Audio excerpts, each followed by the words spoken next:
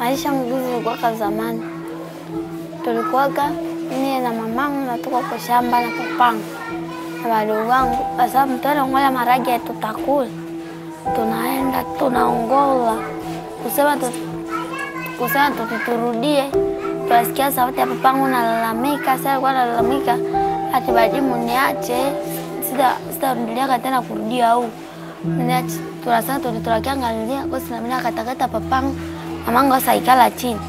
Na tumebichama mama mwaibi anatokelea kule nani unakimbia kingurupa anatubania ati nye batoto mukia tukimbie, ndio tulikia kanaba mpaka huku.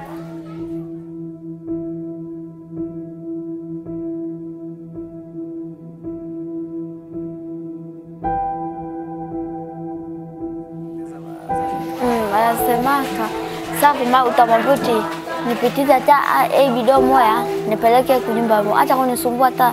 Edawe nenda kupiga hapa mama kwa saka kufa kuna mwata nitompokee unikala kimya au tasema mm, nikisasikia mafikiri na ndalia sasa batasema nikule nje sina hama kukula.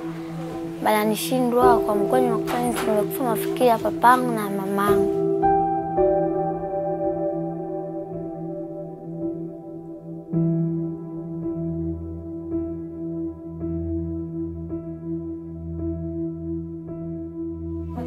bauko kama ko na manyumba juu watu wako bamingi ko bakimbizi kisha hapa senye senye tunacheza kila mtu anakuwa magumu yake tuna mimi sina naelezeka yangu na sena na nimefarijika sena na nimefarijika sendera kurepe na kurepe yako senda toka na na siku na sekulake ja mafikiri na sicheza na marafiki yangu cha rafiki mimi, lakini kwenye nilifikia kwa kutaka nitacheza nao.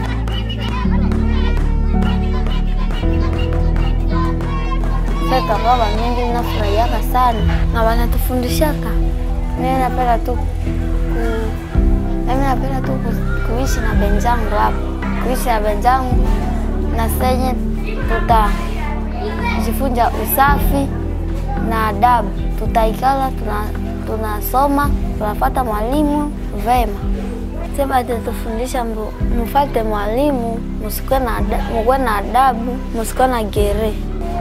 Tunasomaka maneno ya kuhusu adabu, ku, kuheshimu wazazi, ku, kuwa na hakini.